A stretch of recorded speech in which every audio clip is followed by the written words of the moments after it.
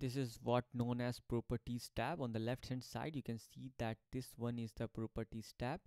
And in this properties tab you will get the properties of the view or the properties of the items that you have selected. So you can see as of now I, have not selected anything.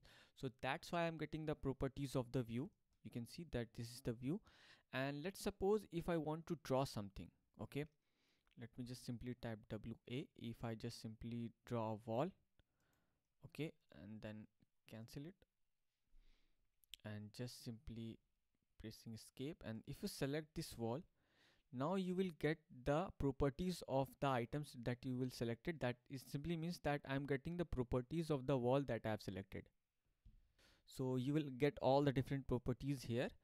And if you look at this drop down button this is what known as type selector. If you click on that one you will get all the different walls related with this wall. You can see all the different properties of the wall. Uh, this these walls are based uh, on the UK library that we have installed.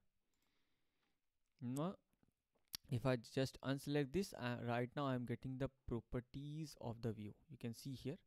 So let's select it again.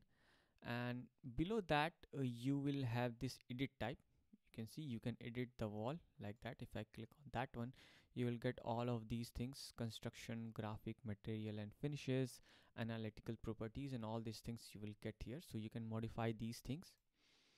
And below that we have this constraint okay if you just uh, you will get constraint you have cross section definition structural dimension and all these things you will get here now for any reason if you are not getting this properties tab in that case you can just simply go to view tab and then click on the user interface. And after that you will see this uh, uh, properties tab. You can see that this is the properties tab. You can just simply tick mark on this one. Right now you can see that I have just unticked that. So that's why I'm not getting that properties tab.